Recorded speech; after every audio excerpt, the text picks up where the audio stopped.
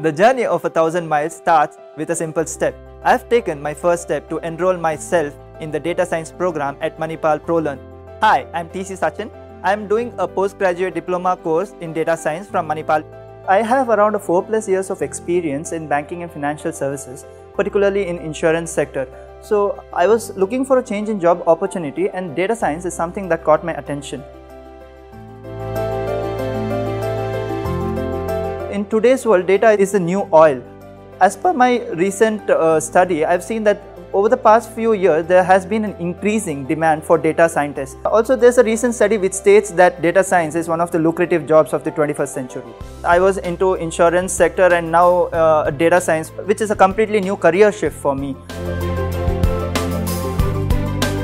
The first problem which I faced was finding an institution which offered a full-time course because it would be a more effective choice.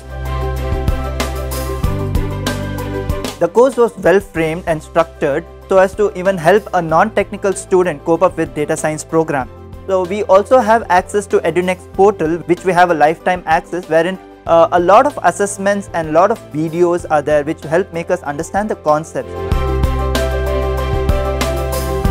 The faculties were available outside of the class hours in case we were stuck at doubts or if we had any clarifications. We also had industry experts coming in and telling us the practical aspects of data science as to how it is applied in the real world. All these help us in order to gain beautiful insights uh, into the program, help understand the concepts better. One of the topics which I uh, was very much interested in the curriculum is uh, artificial intelligence and deep learning. I would love to do a lot of exploration in this field and I would love to advance in this since you know artificial intelligence is the um, area where uh, the world is progressing towards. The way I approach tasks in my daily life, I, I try to break it down into minor problems or try to address all problems step by step you know and try to find the solutions and this is what we do practically in data science taking the input, try to break it down into smaller pieces and trying to handle them step by step and then arrive at a result or an output. The program had enabled me to shift my career from an insurance sector to data science within a span of one year.